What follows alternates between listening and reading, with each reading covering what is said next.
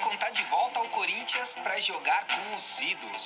Ter Paulinho, Renato Augusto, William, já, já tinha convido com Cássio, Fagner, jogadores de seleção brasileira, Copa do Mundo, e eu sei que vai me acrescentar muito.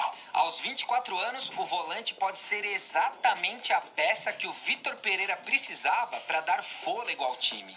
Porque se o Maicon jogar na posição do Renato Augusto, vai bem.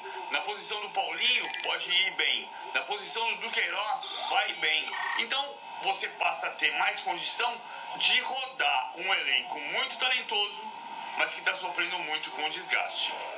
Criado na base do timão, o Michael mostrou desde cedo que pode ser decisivo.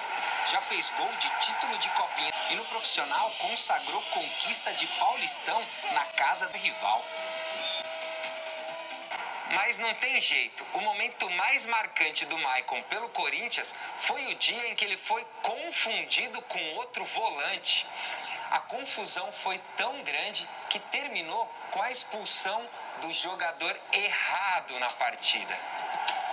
O Maicon fez falta no Keno, mas o árbitro achou que fosse o Gabriel no lance e deu vermelho para ele.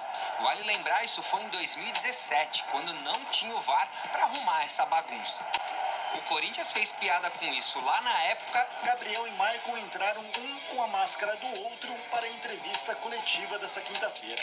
O Maicon volta com status de jogador que faltava para o Corinthians. Mas pelo menos por enquanto a gente ainda vai ter que recorrer ao nosso arquivo para ver o cara dentro de campo.